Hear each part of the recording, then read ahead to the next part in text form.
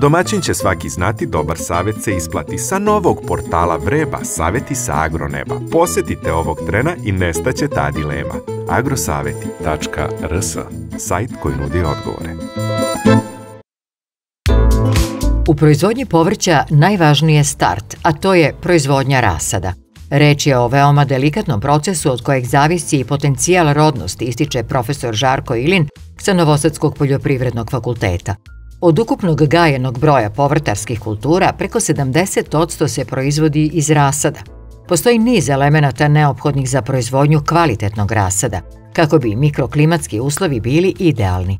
Proizvođači puno pažnje posvećuju temperaturi, ali se ne sme zanemariti ni svetlost, ističe profesor. Dolazi do izduživanja, što znači da će prva cvetna grana biti jako visoko pošto je prva cvetna grana jako visoko, ili dolazi do padanja ili do smanjenja prinosa po jedinici površine, jer e, ne može da formira dovoljan broj spratova, odnosno etaža po visini u toku vegetacijalnog perioda, pa izgubimo čitav jedan ili čak ponekad i dva sprata, zato što je došlo do izduživanja, zato je obavezno dodatno osvetljenje, čim je intenzitet svetlosti manji od 1800 do 2000 džula po centimetru kvadratnom to je vreme kada, kada je manje, dakle, oblačnog dana ne bude više od 100, 150, 200 džula po centimetru kvadratnom, znači da moramo dodati najmanje 40 vati po metru kvadratnom kako bi i produžiti dan sa, evo sad 8-9 sati, kada bude ravnodnevnica 21. Eh,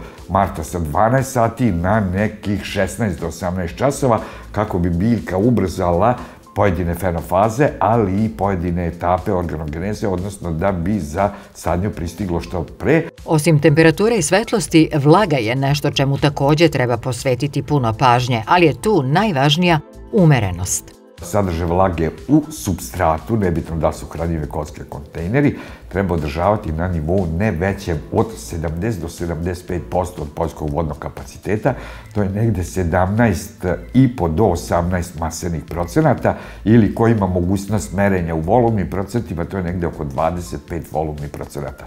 Zašto? Kada je visoka vlaga substrata i visoka vlaga unutar objekta, postoje idealni uslovi, relativna vlažnost vazduha, postoje idealni uslovi za pojavu rizoktonije pitijuma, a, a, a, znači doće do padanja rasada i gubljenja velikog broja biljaka, zato treba ponekad ili češće zasušiti rasad, a održavati idealnu temperaturu, pogotovo dodatnim zagrevanjem, da bi snizili relativnu vlažnost vazduha na optimalnu, ne veće od 60 do 65 ovaj procenata. Profesor ističe i kalijum sulfat kao neizostavan element u proizvodnji rasada kako bi biljke bile otpornije na niz potencijalnih problema. Mi možemo kalenjem, izlaganjem biljaka povremeno, a, a, a, nižim temperaturama, ali ne svakako nižim od onih optimalnih, u zavisnosti od sume radijacije, ovaj, moramo tretirati kalijum sulfatom da bi povećali otpornost biljaka, jer kalijum je taj koji utiče na vodni režim biljke, ubrzano davanje vode, manju količinu vode u ćelijskim,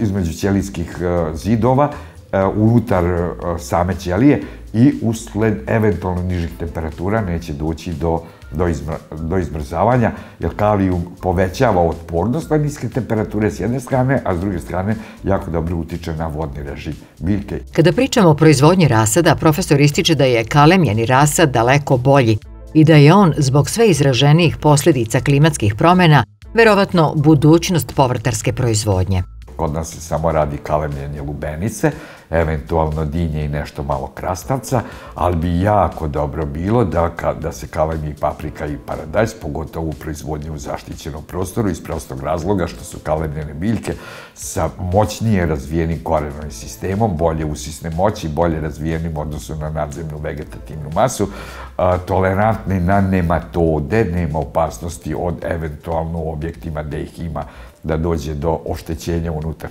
njih i vrlo lako usvaju vodu i vodi rastvorene makro i mikroelemente, dakle hranjive materije neophodne za rast i razviće biljaka, čak i na nešto zaslanjenijim zemljištima sa EC preko 2 ili 2,5, što znači da je to nešto neminovnost, u budućnosti. Povrtari lagano kreću sa svojim aktivnostima, te će od marta imati pune ruke posla. Tokom prvog dela februara lepe dane treba iskoristiti za predsetvenu pripremu, a u trećoj dekadi februara kreće se sa setvom graška i luka direktno iz semena, dok sadnju iz arpađika treba primeniti od 5. marta do 10. aprila. Slično je i sa belim lukom. Ovo su vreme rokova sadnje belog luka iz černova i češnjeva i to jarih belih lukova e, koji se sade na međuredna rastojanja od 25 cm između reda, četiri dvoreda, znači praktično na metar širine četiri reda, na po 25 cm između reda i 80 cm u redu sa minimum 450 do 500 hiljada posađenih čenova ili češnjeva da bi ostvarili optimalni sklop, ali samo u uslovima dodatnog navodnjavanja. U uslovima bez dodatnog navodnjavanja se ne može ovako gusto saditi, nego na 30 do 40 puta 80 cm, što je negde 300, oko 350 hiljada biljaka po, po hektaru.